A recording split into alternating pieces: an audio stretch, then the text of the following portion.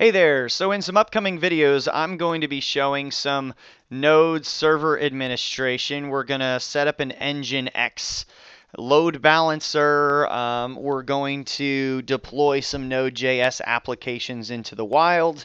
Uh, but to do that, you got to be comfortable with SSH. Um, and so this video is going to kind of cover that. If you're comfortable with SSH, this video is not really for you. Uh, but a lot of devs have not really gone further than GitHub when it comes to SSH. Uh, so this video is going to get into it and show you how fun and uh, just powerful it is. So basically SSH just opens up a secure shell to another machine. Usually it's going to be a Linux machine. Uh, and it just basically gets you into the terminal of that machine. So I can go SSH will, which is my username at um, supercars.com which is a fake uh, machine, but uh, that I've created. But basically, supercars.com is going to point to an IP address of an actual real machine sitting somewhere. Uh, so if I SSH into that, I'm basically logging into that machine as the will user. It's going to ask for my password.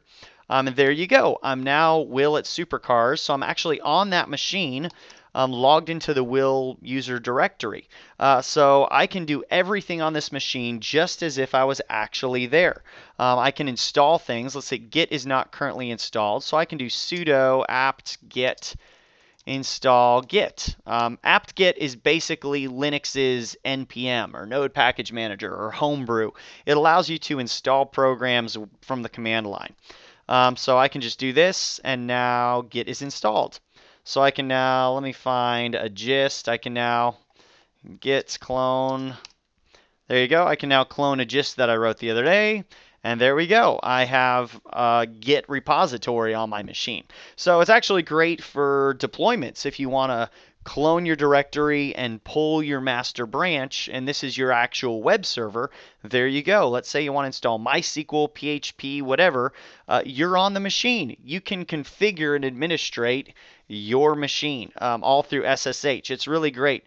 Um, you can also copy files um, using rsync. So let me show you what I have here. I exited, by the way. Exit is the command to get out of.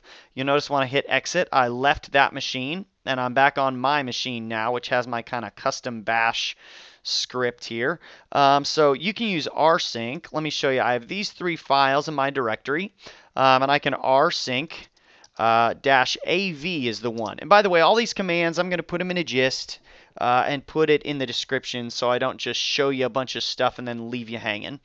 But I can rsync AV. Dot is my current directory, so I'm going to do all the files in this directory will at supercars.com. And then colon, because I'm going to actually give it a path to do that, I'm going to go home directory slash new app. It's going to ask for my password. That's kind of annoying. I'm going to show you how to do passwordless um, SSH here in a second. But you see, I created the directory, home will new app, and I copied all these files there. Let's actually SSH in and see if that did it. It needs my password again. There we go. We have new app. So I can go cd space new app and do directory listing. And there you go. There's my files. So that's kind of a, actually a quick and dirty way to do a deployment if you want to. You can just rsync all your files straight to your server. And now your web server is updated with your new files. It sure beats FTP. It's pretty dirty. It'd be better to actually do push it to a GitHub repo, log in and do a pull from that repo, or even better, use a deployment software like Capistrano, which we'll get into in the future uh, in some videos. There's definitely better deployment strategies, but rsync sure beats uh, FTP. Um, let me actually rm. I'm going to delete main.css here. Let's get out, and I'm going to rsync again. And then you'll notice all it did was copy main.css because rsync is actually going to sync up it's going to find out what it needs to do. It's only going to move the files it needs to move, the files that were changed. Once again, super beats FTP. So if you're looking for a quick and dirty deployment, there you go. Uh, just rsync that thing. Uh, but we'll get into better things later on. Let's show you real quick how to do a passwordless SSH. Uh, you probably had to do this when you got set up on GitHub is you had to make an SSH key. Um, what a key pair is, is you've got your public key and you've got your private key. When you generate it, it will create both. Like say you create a key called IDRSA, which is standard. Um, it's going to do IDRSA, which is your private key, and it's going to do IDRSA.pub. you're going to copy the contents of this to the server and the pub and you're going to move it to the authorized keys file and then the server knows that this IDRSA key is accepted in place of a password. So this is the one you want to protect with your life uh, because anybody with this file can access your server that has this file installed.